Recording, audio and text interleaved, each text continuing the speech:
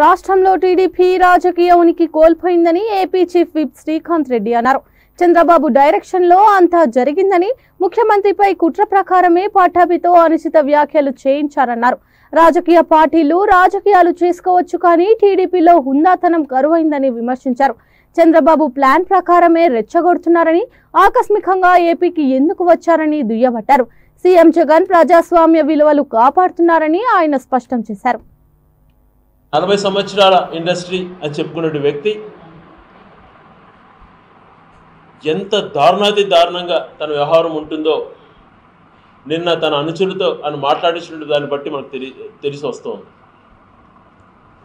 రాష్ట్రంలో ఎప్పుడు కూడా ఎన్నో కష్టాలు ఉన్న ప్రజలు కష్టాలు ఉన్న సమయంలో ఏ రోజు విజయవాడలో లేని వ్యక్తి ఎన్నికల సమయంలో కూడా విజయవాడలో లేని వ్యక్తి ఎన్నికల కౌంటింగ్ సమయంలో కూడా ఏ రోజు విజయవాడలో లేని వ్యక్తి నిన్న ఒక ప్రణాళికబద్ధకంగా ముందే తన అనుచరుడికి ఆదేశాలు ఇచ్చి ఏ రకంగా ప్రొవోకేట్ చేయాలి మేము ఎంత రెచ్చగొడుతున్నా కూడా వాళ్ళ సమయం పాటిస్తున్నారు. దీన్ని ఇంకొక రకంగా తీసుకెళ్ళాలి వ్యక్తిగతంగా టార్గెట్ చేయాలి. మనము ఎంత చేసినా కూడా మనకున్నటువంటి ఎల్లో మీడియా మనం ప్రొటెక్ట్ చేస్తూ ఉంటుంది. మనం చేస్తున్నటువంటి విషక్రీడలో తెలుగుదేశం పార్టీ చేస్తున్నటువంటి విషక్రీడలో వాళ్ళు మాట్లాడే భాషను ఘోరాతి ఘోరంగా మాట్లాడండి అన్నటువంటిది రెచ్చగొట్టే విధంగా చేసి ఏమి మాట్లాడాలా అని చెప్పి ఇన్స్ట్రక్షన్స్ ఇచ్చి పంపించిన వ్యక్తి చంద్రబాబు నాయుడు గారు.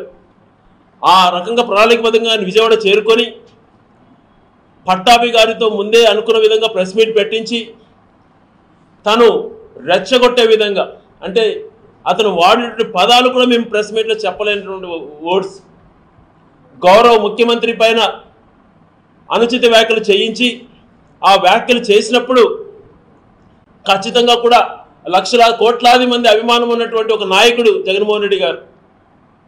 ఆయన పైన అటువంటి విమర్శలు చేసినప్పుడు నాయకుడు ఓపికగా ఉండమన్నాడు అని చెప్పి భరిస్తూ వచ్చారు. మా నాయకుడు ఎప్పుడు కూడా ఓపికగానే ఉండమంటాడు. కానీ వీళ్ళు ప్రతిరోజు కూడా రోజుకు ఒకసారి ఏదో ఒక విధంగా రెచ్చగొడుతున్నా కూడా మేము సమయం పాటించాం. కానీ దీన్ని తారస్థాయికి తీసుకెళ్తున్నప్పుడు మాలో ఓపిక నశిస్తుంది అన్నటువంటిది కొంతమంది కార్యకర్తలు ఆవేదన వ్యక్తం చేయడం సహజం.